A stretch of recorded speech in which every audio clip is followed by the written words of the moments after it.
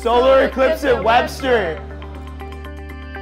We are celebrating the, the eclipse. We invited the entire community onto campus, so very, very exciting day. So we have three tables. Our table, we're making pinhole viewers that look just like this. When the sun shines through this hole, then it makes a print on this paper. We're really excited to be here on this historic occasion.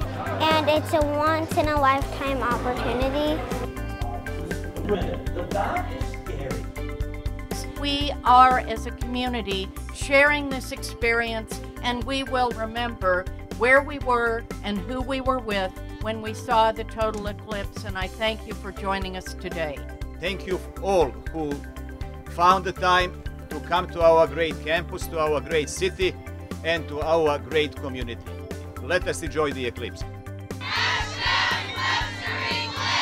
To recognize the aesthetic beauty of science and the mathematical precision of natural phenomena to the eclipse and the totality.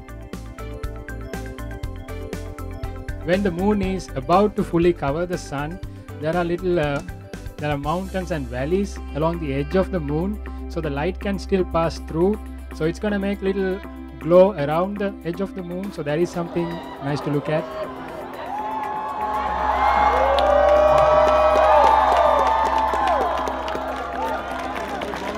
Thank you, thank you.